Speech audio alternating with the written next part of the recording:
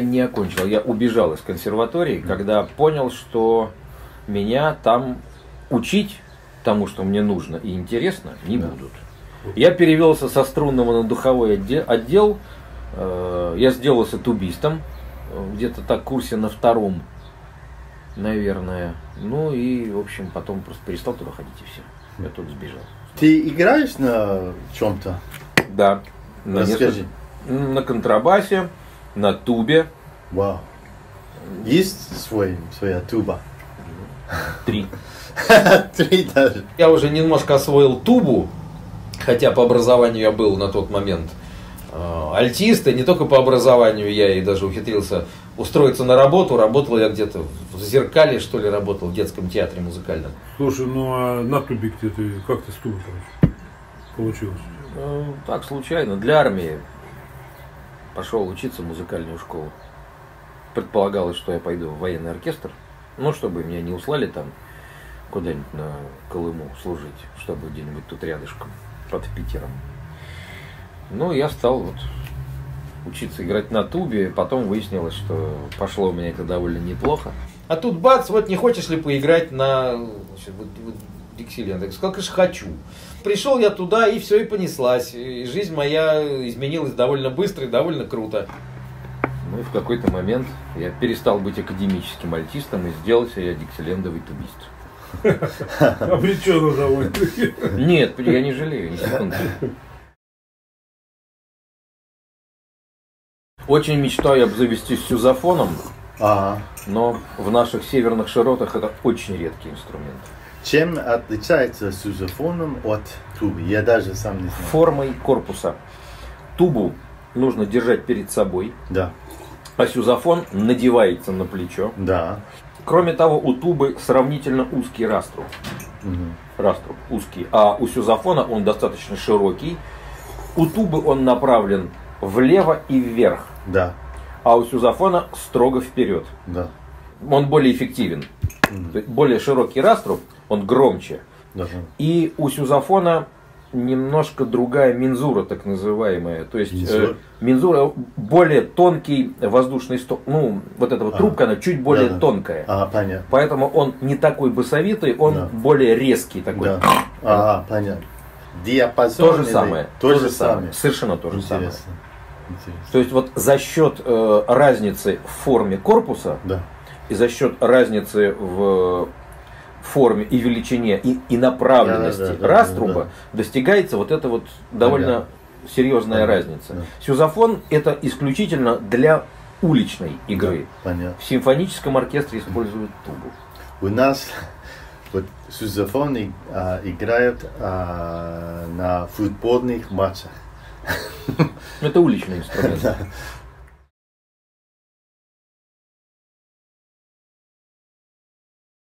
Гордость коллекции, точнее одна из гордостей коллекции, аппарат отечественного производства, но произведенный э, питерским филиалом английской фирмы Gramophone. Произведен до революции, понятное дело, где-то так году в 1906-1911. Точнее сказать невозможно, можно только косвенным образом догадываться о том, когда он произведен. Догадки мои основываются на... Сейчас скажу, покажу сначала. Если прочитать надпись на звуковой головке, то тут э, упомянуты три российские филиала английской фирмы Gramophone. Э, Тифлисский, Питерский и Варшавский. Последний хронологически был в Москве. Здесь про Москву ни слова. Значит, это не самая поздняя модель. А э, вот этот вот филиал действовал в России до 1914 года, до начала Первой мировой войны. Соответственно, где-то какая-то, какие-то, то, то ли ранняя, ранняя, то ли средняя какая-то модель. Э, В России эти аппараты называли пишущими амурами. Почему? Потому что если вот обратить внимание на лейбочку, которая с внутренней стороны крышки, то увидим вот этого самого амурчика. Амурчик сидит на пластинке с пером. Ну и народ крестил пишущими амурами эти аппараты. Сейчас заведем.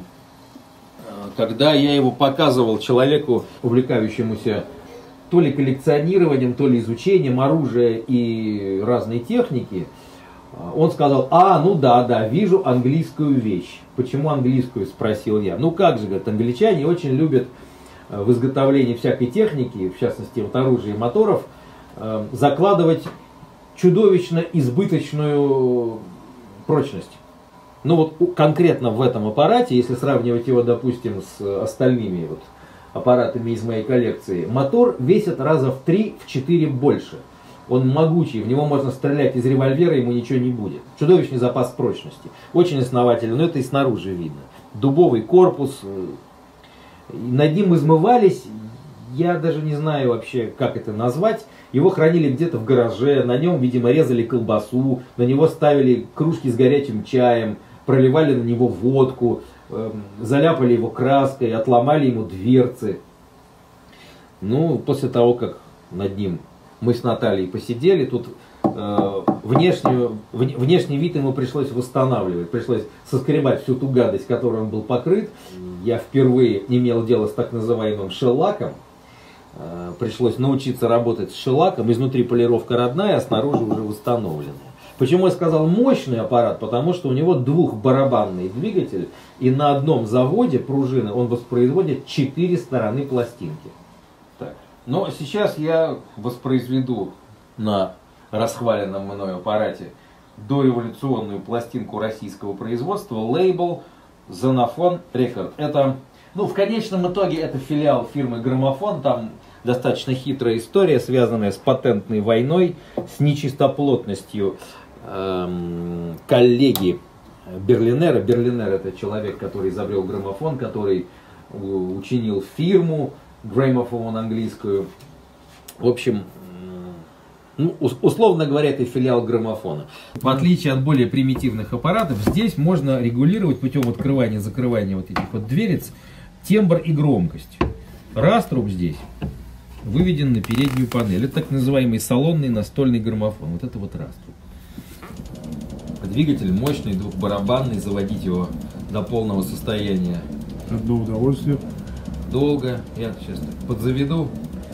Не помню, сколько там оборотов нужно делать, чтобы он воспроизвел одну сторону. Слышь, трекочет храповичок. Так, ну ладно, будем надеяться, что ему достаточно